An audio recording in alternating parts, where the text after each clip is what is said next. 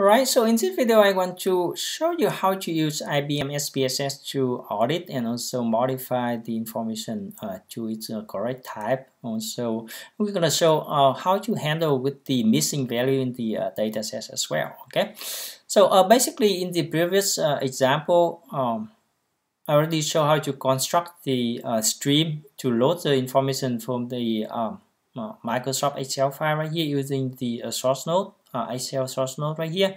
And so um, we use the type node right here to briefly um, observe the, the information of the data set as well. Okay, so um, in order to audit the information, we need to add one more node. Go to the output tab right here, and um, before doing that, we're gonna select this one. So uh, gonna be a um, double click to the uh, to the data audit right here. So gonna be automatically inserted into the workspace.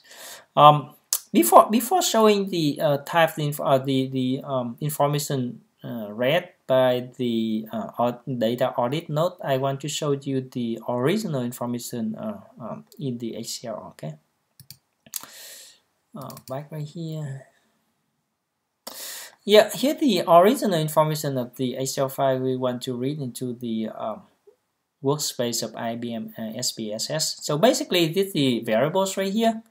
Um, this the name of the variable in the first row right here. Um, the total number of um, total number of record we have right here gonna be a uh, um, the last one gonna be a uh, 507 um, but the first row is the uh, um, the variable name. So totally we have a 506 records okay? Um some of the information I want to uh, point out right here are the first value right here I change it to very large. So it's supposed to be a uh, outlier or uh, extreme value in the room variables. So IBM SPSS should be able to detect it okay. Another part here I delete one of the variables. So it's supposed to be a missing value. So I color in red right here just empty uh, empty uh, and uh, uh, it should be a missing value and should be uh, we're gonna show how to handle this uh, missing value as well. And one of the value right here I change to the very large that um, the range of this one pretty large as well. So not sure if this one gonna be detected as a outlier or not. Uh, we're gonna show through the uh, IBM SPSS. Okay, so that the uh, three um, key point right here. We want to um, we want to observe it in uh, IBM SPSS. Um, another point right here again, uh, I want to show that the charge variable right here is should be a categorical variable with two levels, 0 and 1. Okay, so you can see right here 0 and 1 and another variable, a categorical variable right here also have two levels, 0 and 1. Okay, so we expect that of uh, information type uh, should be correctly uh, read uh, into IBM SPSS. Alright, so uh, let's back to the IBM SPSS. So um, we're gonna double click in this one and we're gonna do run so uh, you can see right here, uh, all of the variables actually have been read as a continuous. So that's numeric. So it means the uh, variable uh, Charles River right here um, have not been uh, and the other variable right here have not been uh, correctly uh, identified the type okay so we need to adjust that type to its correct type that's a categorical um, also the room variable right here we can see um, the total number of record right here is 505 so uh, one less than the other variables because one of the uh, variable uh, one of the values has been uh, has, uh, has, has missing value right? So that's that's correct. And we're gonna show how to handle this kind of missing value as well okay? Um, by to this one we can see that uh, this one gonna be uh, the room right here. This one extreme value because it's very large so it has been uh, detected 100 that's an extreme value. Um, we can see that number records right here 505 so missing one.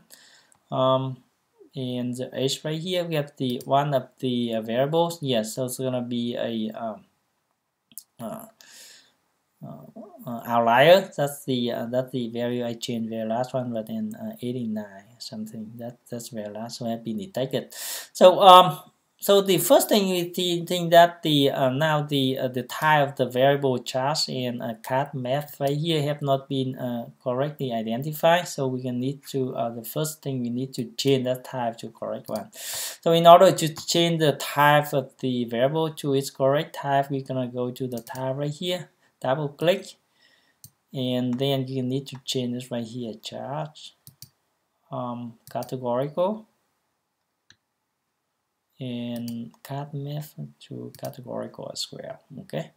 And then we'll read now you can see when we change this one you're gonna have the uh, flag. Basically the flag is mean categorical with two levels uh, just no or one zero. So basically you have the two level of the um, uh, categorical variable 0 and 1 so that's why I'm gonna change to flag and similarly we have the same type right here so uh, basically, we change the type of the uh, variables to its correct one. That's categorical, categorical. So we uh, click OK, and we back to the audit right here, and uh, we expect it gonna be um, correct type. So you can see right here, the chart gonna change its correct type right here. Now it's gonna be a categorical with two levels, zero and one, and because categorical, so doesn't uh, compute other parameter because it's not matching uh, for the categorical for the uh, this uh, parameter. We have the unique right here is that the um, unique level of the categorical variable. So we have the two unique uh, levels 0 and 1. So that's we have number 2 right here.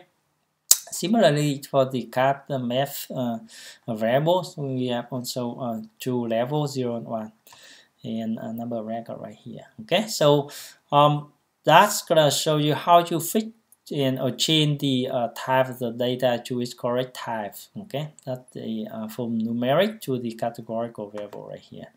The next step we're uh, show how to handle the uh, missing variable right here. Right now, the room um, variable have been uh, have one missing value, so we need to uh, find a way to to fix it. Okay. All right. Um, so the uh, the first the first way to um, handle the missing value is that by uh, removing the records with the missing value okay so in this case if we have the large uh, uh, data we have the data set uh, large enough so we can delete uh, some of the uh, records with the missing value so that may not affect you the to the the way we construct the model later on. So um, let let let assume that um, yeah uh, six records. So that's gonna be a maybe uh, enough. So we can uh, delete some of them. So in order to delete uh, the uh, records with the missing value, we're gonna um, add a uh, one node right here equal a uh, select. So that's gonna be uh, connected to the type node right here. Uh, we're gonna double click right here. So that's gonna be uh, um, insert into the workspace. So um, double click into the select uh, select node and um, the mode the mode we want to choose as a discard. This means we gonna discard the record with the missing value okay? The condition um, we gonna select the now where the now this mean a um, we gonna detect all the uh, missing value or the uh, empty or the null value of those variables. Um, now the variable we gonna insert the um, the field or the uh, variable we want to handle uh, that's missing value get the room double click and we're gonna do check that's no problem and we do okay. So now it's saying that um, basically it's saying that um, we're gonna discuss or uh, delete all of the um, records with the uh, null value or the missing value of the room variables. And we click OK. So in order to check is that um, handle correctly we're gonna add one of the output right here to the data audit. So um, double click this one and we run into C. Okay, so now you can see um, right here all the um, number of valid records right here is 505 instead of uh, 506 and 505 okay? So it means uh, one of the uh, records with the missing value have been removed from the data set uh, uh, from the uh, from the data. And um, you can see you can see that now every every um, this a complete 100% okay? So it means the the record with the missing value have been removed okay? This means um, when the data goes through this node the uh, missing the missing um, the record with the missing value have been removed uh, after um, and the data going out right here have already 505 uh, record. Okay? So that's the that's the first way how to um, how to handle the missing one. However in some uh, scenario if the data set is not large enough so we want to keep that data uh, record and we try to fill the or replace the missing value with some variables. Um, for example the mean or the max or the uh, average of that variables. So um, let, let's see how, how, how can we do that. Um, so in order to do that we're gonna go into the audit right here.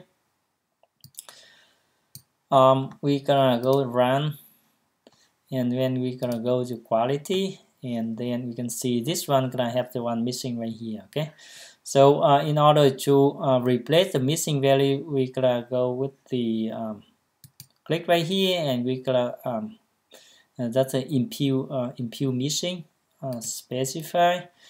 So um, impute when uh, that's a condition when we have the null values or blank values. We're gonna select this one um, we're gonna select different method right here. Uh, we're gonna go with the fix. This means we use the um, function or the um, uh, fix uh, uh way to uh, replace that value. So uh, assume we're gonna using the mean value of the um, existing value of that variables and we can replace that missing value by the mean of the remaining value of that variable so you can see that when you select the mean, you can see that the um, the, the, the, the function already calculate what is the mean of that uh, room variable right here. Okay, that's got a 6.40 uh, uh, 471. Okay, so we're gonna click OK. So um, it's saying that uh, the missing value gonna be replaced by the mean or the average of the uh, remaining value of that variable room right here okay? So um, next one we're gonna need to generate the um, super node by generate right here and missing um, and we can see all field the sample size we're gonna take the 100 uh, percent of that uh, sample or that's the number of record we have. Click OK and um, okay so we can see right here it's generate a uh, missing value uh, uh, imputation or super node right here. And this one gonna be connect to um, from the type node. And also in order to see is that correctly uh, uh, perform what we expected we gonna have the audit uh, data audit node connect to that one as well okay? So let's see right here double click and run and we can also right here. So um, you can see right here. Oh okay. So now this is the total number of records 506 so it means the record with the missing value have been uh, still uh, kept and um, the, the the value have been replaced okay? So in order to see um, in order to see is that the um, the, the, the, the missing value have been uh, replaced, we're gonna add one more um, node in order to uh, look into the data. That's the table node right here. Okay, double click. So the table node gonna connect to the uh, this one, and we're gonna display the um, data set in, in in the table form. Double click, run. So you can see right here. So basically, uh, the missing value, um, the missing value gonna be uh, this uh, value right here in uh, record number 17, and um, basically um, that's gonna have empty right here.